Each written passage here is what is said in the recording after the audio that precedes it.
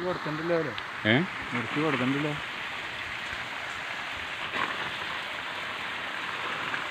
നമുക്ക് ഈ ചക്ക കിട്ടില്ലല്ലോ അത് മുറിച്ചെടുക്കണ്ടല്ലോ ഒന്നും അതായത് പഴുക്കുമ്പോൾ മുറിച്ചെടുക്കുന്നതാ ഇത് കഴിക്കണല്ലോ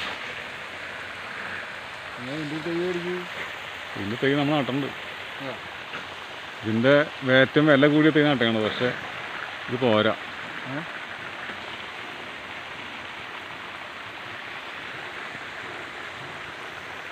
ഏ? തയ്യില്ല. രണ്ടു മാസം കഴിഞ്ഞിട്ടുണ്ടാവുള്ളൂ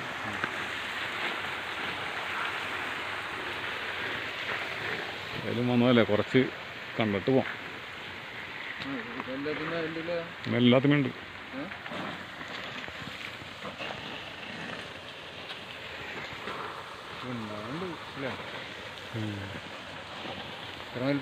ഇവിടെ എന്തോരം വലിയ